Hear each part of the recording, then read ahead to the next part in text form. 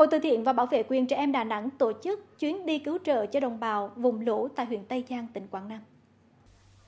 Trong những ngày qua, mưa lũ và cơn bão số 9 đã gây thiệt hại rất lớn cho nhân dân tỉnh Quảng Nam, nhất là các huyện miền núi Tây Giang, Phước Sơn, Nam Trà My, Bắc Trà My.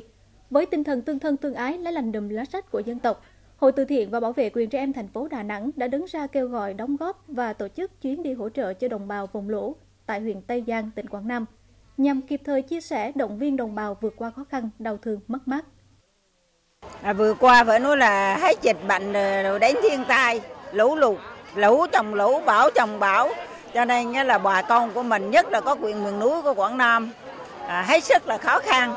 À, cho nên là hội từ thiện và bảo vệ quyền trẻ em thành phố à, cùng với lại à, các nhà tài trợ, các mạnh thường quân, các doanh nghiệp, các câu lạc bộ à, đã chung tay góp sức để có một món quà nghĩa tình tặng cho bà con ở ờ, xã Giang, huyện Tây Giang là một cái huyện hết sức là khó khăn.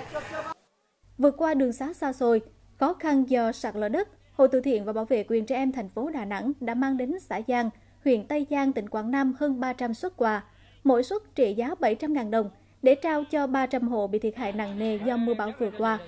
Sự hỗ trợ kịp thời này đã giúp người dân giảm bớt phần nào những khó khăn trước mắt, sớm ổn định cuộc sống.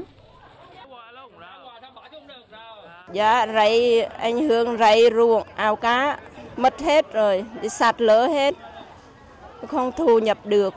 Ao cá mấy trăm con cá, 500 con cá, mất hết rồi. Nhận được của từ thiện Đà Nẵng, vui lắm. Đây khó khăn lắm, nhận của này vui lắm.